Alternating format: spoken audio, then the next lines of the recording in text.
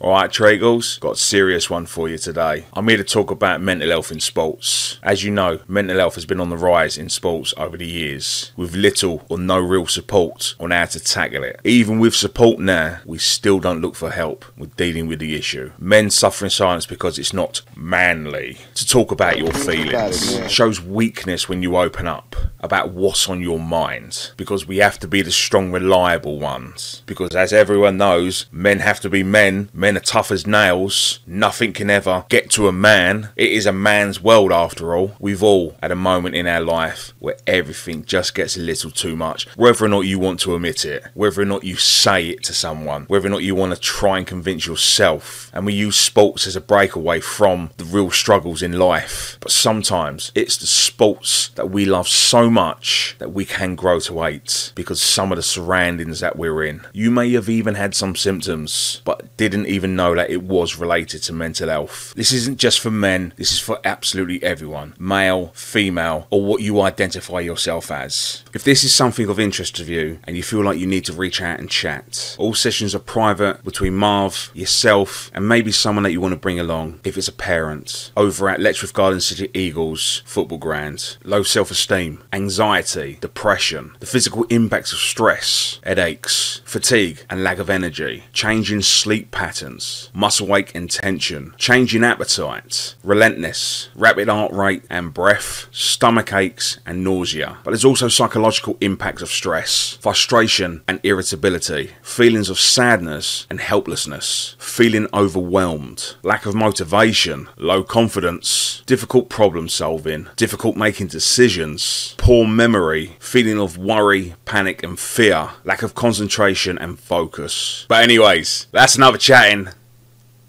I'll let Marv explain more.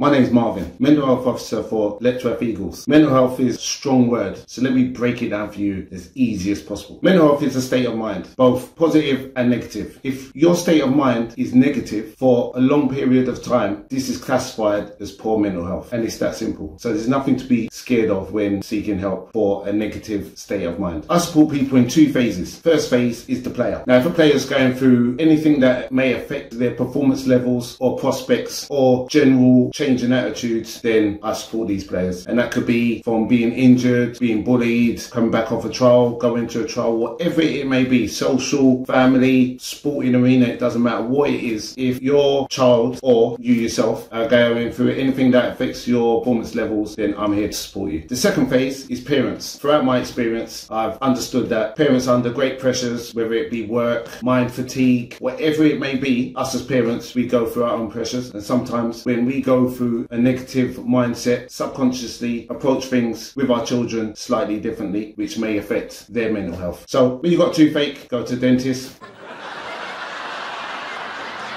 When you're not feeling well, you go to doctors. When you've got anything to do with your eyes, you go to opticians. Are you blind? You can't see me. If you're overweight, you might want to go to the gym.